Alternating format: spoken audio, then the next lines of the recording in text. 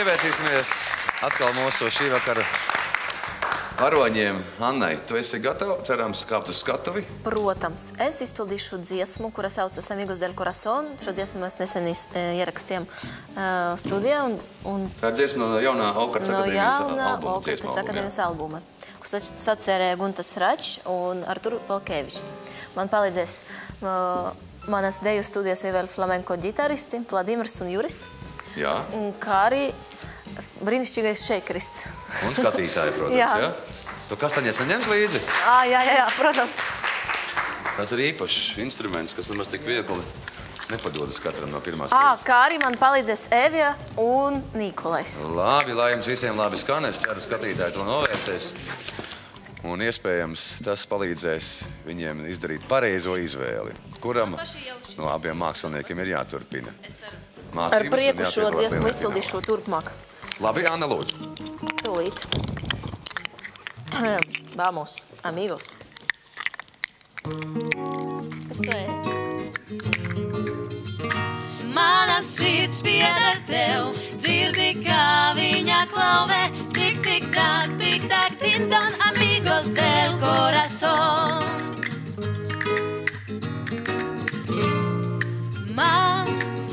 tevi jādomā, ar vien, kad žēlī rauj, aiz loga katedrāles vans.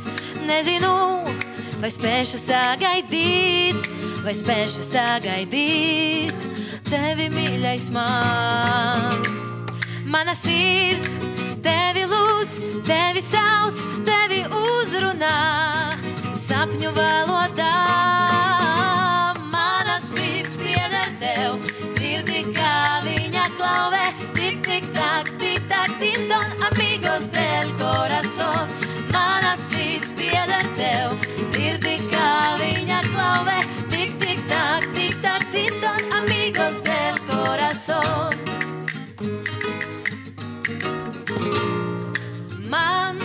Par tevi jāizlūdz, par taviem sapņiem un par tavu nevainību ar. Zinu, tas ir tavu domu spēks, ir tavu domu spēks, nebijušai grēks. Mana sirds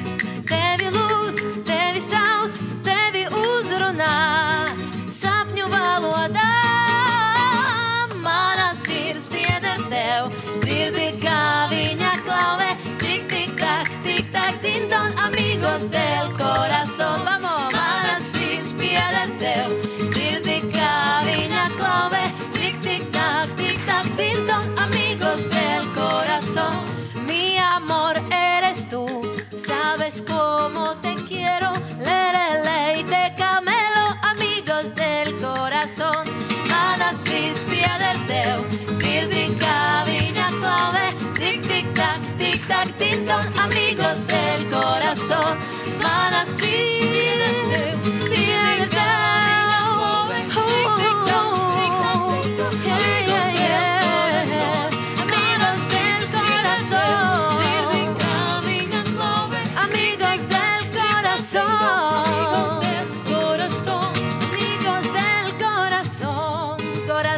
Corazón, corazón.